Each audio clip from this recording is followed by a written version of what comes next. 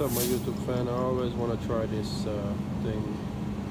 It's like Jamaicanese berry. It's called uh, sapote or meme.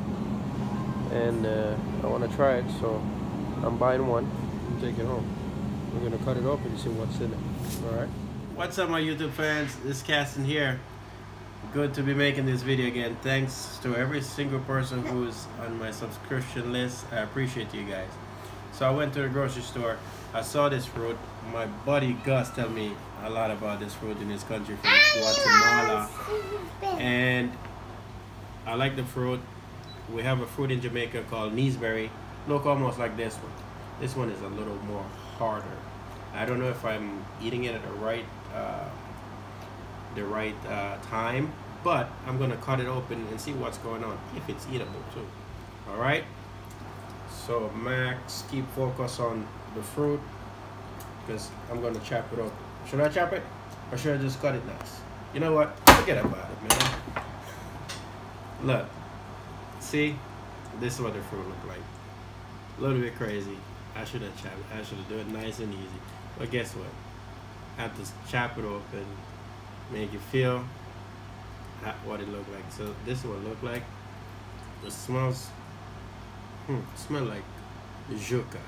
Or Jamaica we call it cassava. It smell almost green, like it's not really ripe, you know. So we cut cut into Ew, it. I'm not gonna do that crazy you. stuff. Ew. But what to eat it? Mmm. actually it tastes sweet. It's not bad. But I think it's Can not ripe. taste sweet? Yes, it tastes sweet. It's not quite ripe yet. A wee sweet. Yeah. So it's not like Neeseberry. When Neeseberry- is ripe, you can bite right into it. But this is called sapote, or they have another name. It has two names. That's weird. It's called mamey. Maybe I get it wrong. If I'm wrong, guys, please correct me. Mamey. It's M-A-M-E-Y. Mamey. Sound like to me. Anyways. What do I But anyways, thank you for checking out my channel, guys. This is sapote. I tried it out. It's not bad. It's not quite ripe as I want it to be, or it should be. Check out the seed. That's a nice seed. I wonder if this thing is good. Look at that. Huh. Pretty cool. Big seed in there. Anyways. It's juicy. It does. Mmm. It's a little sweet. It's more sweet when it's ripe. So I guess the fact is it's got to be well ripe so you can enjoy it.